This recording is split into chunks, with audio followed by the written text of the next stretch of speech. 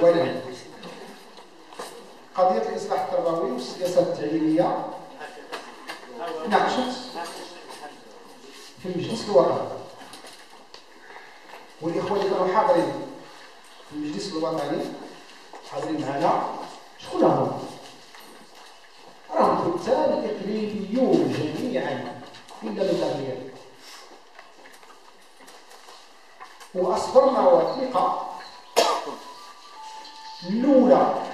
ما كانش عهد ما كانش عهد المكتب الوطني السابق بل كانت عهد المكتب الوطني اللي سبق منه. كان هذاك كان هذاك اعتقد السيد المعطي كاتبا عاما وتقدم على ذاك المكتب الوطني وثيقة سماها السياسة التعليمية برؤيه ديال الجامعة الوطنيه للثقافه التعليميه بعد ذلك بعد ذلك فعهد المكتب الوطني السابق؟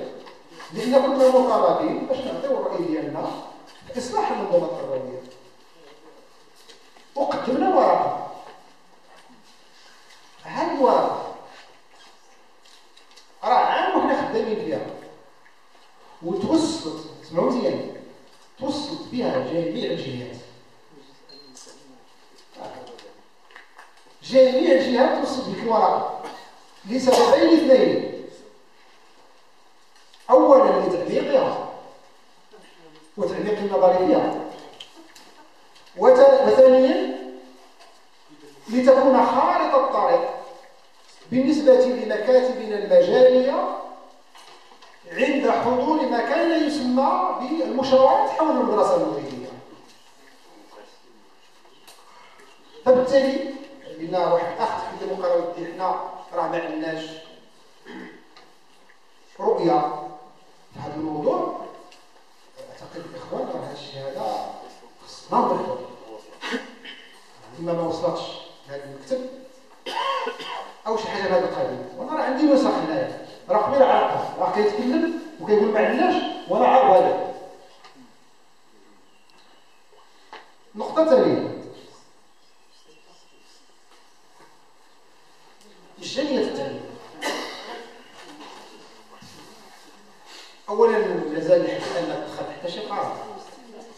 اثنين المجلس الاعلى للتربيه والتكوين مجلس الشاب طلبات من الحكومة باش يعطي الرأي ديالها وخصو يعطي الرأي ويعرض ذاك الرأي على الجمعية العامة ديالهم ديال المجلس.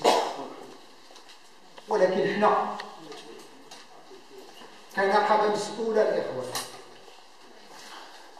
أول نقابه اللي صدرت بيان أول اللي صدرت بيان هذه يومين الأيام يومين.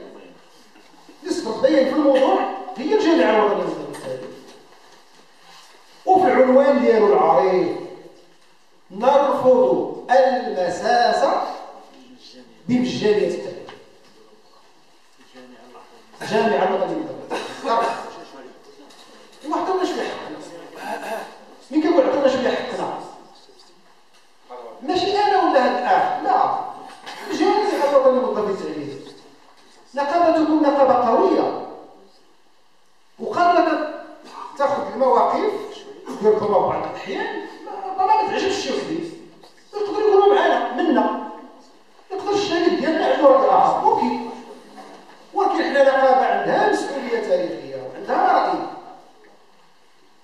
قدمنا للأسرة التعليمية الرأي ديالنا اللي لا بالأقل قدمنا لهم الموقف ديالنا بيان مسؤول.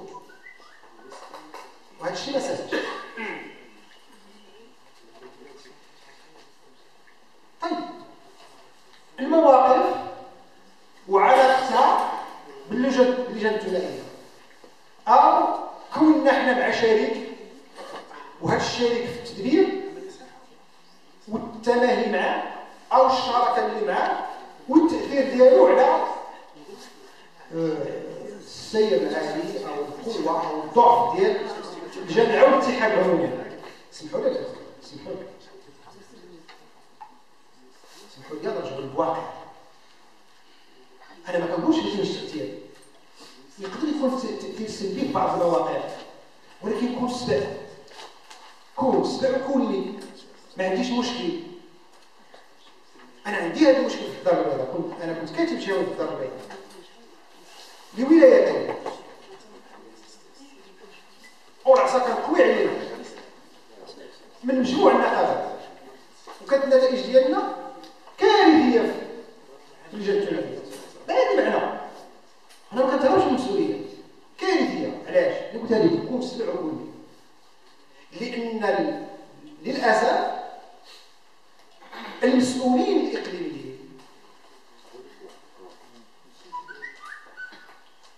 নাম রেখেছি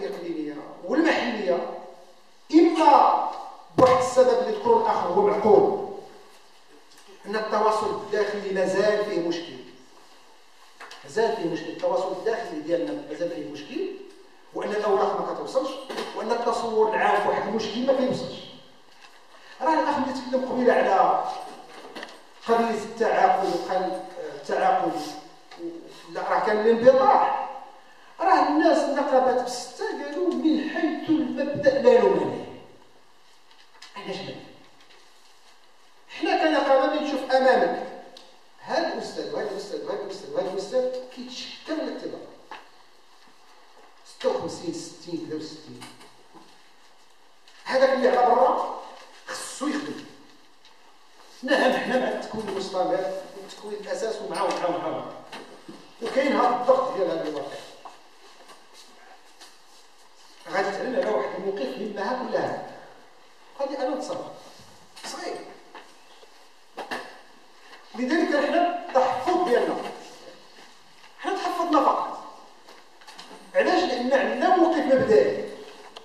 شنو هو الموقف المبدئي؟ ما يمكنش شي واحد يدخل لسلك التعليم بدون تكوين أساس ما نفرطوش فيه.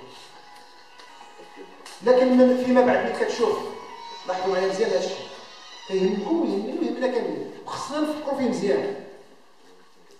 أكثر أو ما يناهز 75000 اللي قدمت الترشيح على الصعيد الوطني 95000 اللي قدمت الترشيح ديالها في هذا التعاقد أش كتقول لك أنت كنقابه أش كتقول لك هاد 95000 أش كتقول لك أنت داير بيان ولا داير كذا؟ بديل أنا عارف أنا كنقول لك. تحت الإكراه تحت الإكراه ربما وكاين اللي مشى لها ليه باغي يمشي ليها ماشي.